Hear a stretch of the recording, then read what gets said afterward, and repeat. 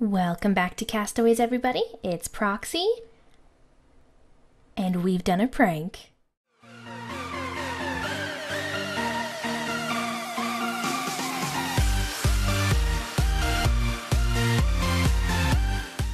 And this prank is on our good friend Cthulhu.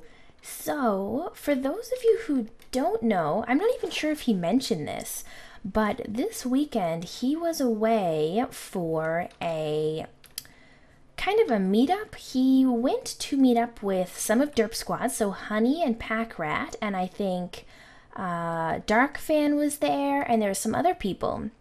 And sadly, I couldn't go because I'm at school and whatnot. But yeah, he went and did that, and while he was away, I thought, you know what? What better time than for me? It's a girl. Um, for me to do a little prank on him, and I've been wanting to do a prank on him for a while. So if you guys remember his underwater farm just below here, we can actually go pop under and take a look. It's right there. It's really hard to see underwater. That was a bad idea. if I come over here, we can see it better. Under here, I had left a chest, and it said something along the lines of, um, here's some coal for you, or I heard you needed coal, but this is only half of it. So I decided to do a little bit of a prank. And it's an oil rig ship that was delivering coal to me, and it ended up accidentally crashing into Cthulhu's house, and it got tore open. So let's go see what the the cargo holds. So this is our ship, and underneath is all the beautiful, beautiful fuel.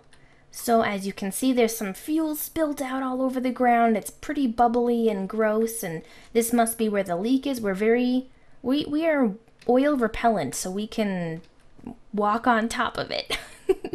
so this is where the leak was. And this is the oil chamber one, and this is oil chamber two. So as you can see, this one's still nice and intact, so there's nothing wrong with this one. This one's kind of spilling out over there.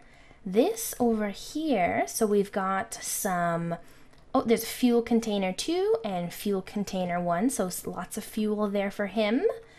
And this is special goods, so I guess these were special things that were supposed to be stored on this cargo ship. So there's some storage cores here, I guess, for stuff to be inside of.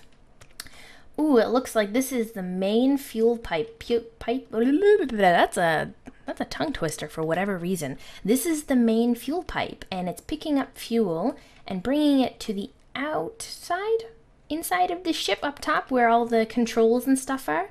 So this is some more mass fuel storage that isn't blocked off because I didn't have any iron left.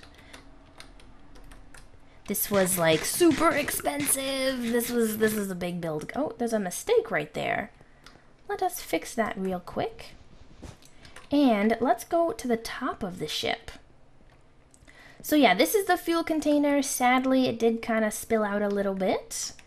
Up here, we have the top of the ship. Let's go over to the main deck and check it out. This was really, really fun. And after this little segment of me showing you guys it, I'm going to have like a kind of a speed time lapse thing. Oh, no, wait. I probably would have had that in the beginning of this, so this will be after. and this is the inside. This is like the control panels up here. We've got some like sonar rating, but they're broken. That's why the the captain and them left. This is supposed to probably be like a steering. I don't know how these guys drive. I don't know. But we have some signs here. It says, Dear Cthulhu, if you remember, I had given you some coal just a few short weeks ago, and I had said it. I had said it was. Oh, it wasn't all of it. I can't even read my own writing. What's wrong with me? Well, sadly, the oil tanker I had ordered to deliver it crashed. Some fuel has leaked into your ocean, so be careful. It may make you sick. Also, I think you may need to destroy the tanker as the crew jumped off just before it crashed. RIP crew. Hope you enjoy all the fuel. Love, Proxy. So, this is our little prank for him. Guys, it was so much fun to do, but holy cow, it took for freaking ever.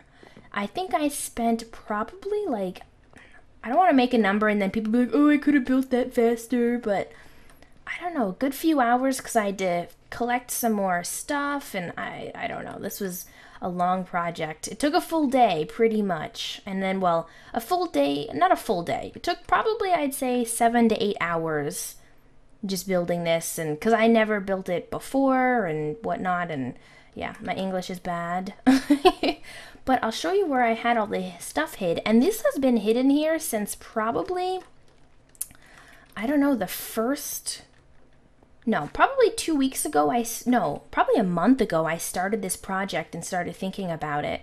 And uh, yeah, so this is some stuff that I had left over, some extra blocks and whatnot. And these are the blocks that will go here because that. And that was empty. That had a bunch of other stuff in it. And I think I was cooking some like stone and mutton and whatnot. I kept having to like dig down in certain places and try to collect some more stone to just get like certain little accent pieces and whatnot. But yeah, all these uh, iron fences, guys, took so much iron. I think our next episode after this will probably have to be a caving episode so we can try to get back some of the resources that were used in this prank. But I think it looks good. I am so freaking happy with this. I'm, yeah, I don't think I can explain how much fun this was. And I really, really hope Cthulhu enjoyed it. I'm by the time you see my video, you will have already hopefully seen Cthulhu's. I'm trying to get a picture of this. I'll do that after though. But yeah, let me know in the comments what you guys thought of this prank. Did you like it? Is it I don't I don't think I've ever seen someone do a prank like this before, like, you know, kind of like a oil tanker type thing. I don't know. Let me know what you guys think. But yeah, Thank you guys so much for watching. I hope you enjoyed the little bits of time lapse that I did, and I'll see you guys in the next episode.